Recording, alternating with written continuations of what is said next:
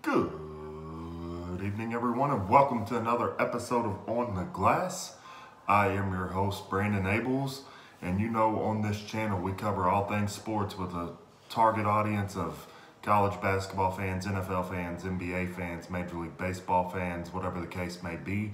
But we also cover breaking news in the world of sports and we do have a piece of breaking news that I wanted to get on here and discuss coming out of the world of NASCAR and driver Ryan Newman.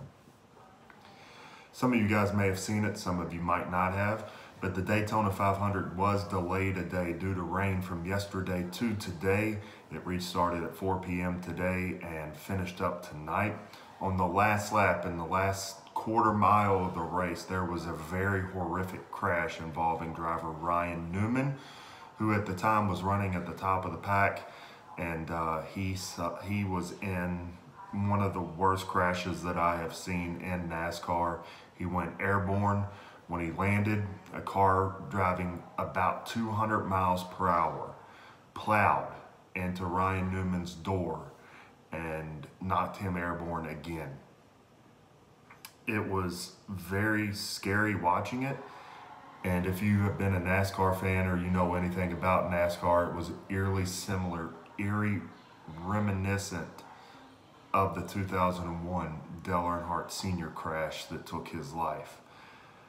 Um, we had no news for an hour and a half, two hours, however long it's been since the race ended. And we just got word from NASCAR an official statement from NASCAR saying in part that Ryan Newman is being treated at Halifax Medical Center, which is just outside Daytona International Speedway. And doctors are saying that his um, injuries appear to be not non-life threatening at this point. Very, very great news. Uh, I got to be honest with you, not the news that was I was kind of expecting coming out of this, because like I said, it uh, it reminded me eerily of Dale Earnhardt Sr.'s crash that took his life back in 2001. But very, very happy, very good news for Ryan Newman. Doctors did say that he is in critical condition, but it does appear that his injuries are non-life threatening. So that is a great piece of news. If you've seen that crash, you would know how great a, a piece of news that this is. So, guys, when you go to bed tonight, be sure to send a prayer up for Ryan Newman and a quick full recovery for him. Say a, say a prayer for his kids because they were at the track today and witnessed all this go down. So say a prayer for his kids, say a prayer for Ryan, and I am very happy that this news just came out an official release from NASCAR stating that Ryan Newman is being treated at Halifax Medical Center just outside Daytona International Speedway. Doctors are saying that he is in critical condition, but non-life threatening injuries for Ryan Newman after a horrific crash on the last lap of the Daytona 500.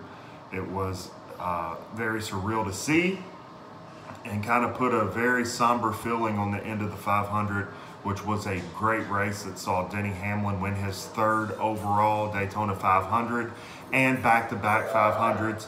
But the big news coming out of the 500 is Ryan Newman is in critical condition, though he is still alive with non-life threatening injuries, and uh, we can't say that enough.